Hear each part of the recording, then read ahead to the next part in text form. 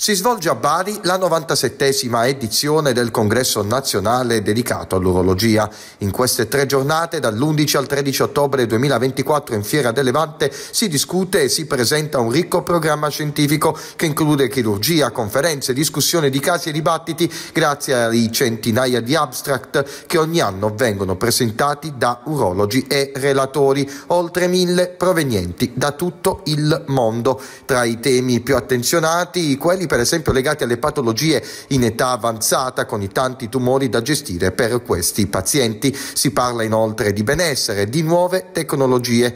Importante anche la presenza del sottosegretario alla salute Marcello Gemmato che dice bisogna invertire la rotta attuale perché il 95% delle risorse viene speso per le cure e soltanto il 5% alla prevenzione. Bisogna esporsi in maniera particolare anche sul tumore alla prostata e contrastarlo. Eh, mitigare quella proporzione che ci vede spendere il 95% per la cura e soltanto il 5% per la prevenzione.